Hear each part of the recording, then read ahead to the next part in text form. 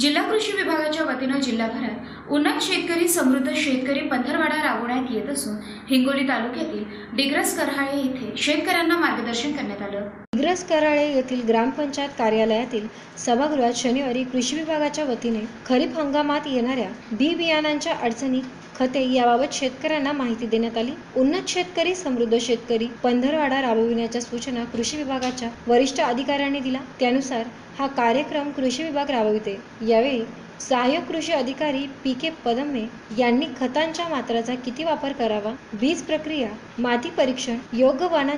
निवड आदींची माहिती देऊन घरच्या बियाणांची उगवण क्षमता पाहूनच पेरणी करण्याच्या सूचना शेतकऱ्यांना दिल्या तसेच हळद गटांनाही मार्गदर्शन केले यावेळी गावातील रामेश्वर कराळे जयवंत कराळे ग्रामपंचायत सदस्य गंगाधर कराळे आदींसह शेतकऱ्यांची या कार्यक्रमात उपस्थिती होती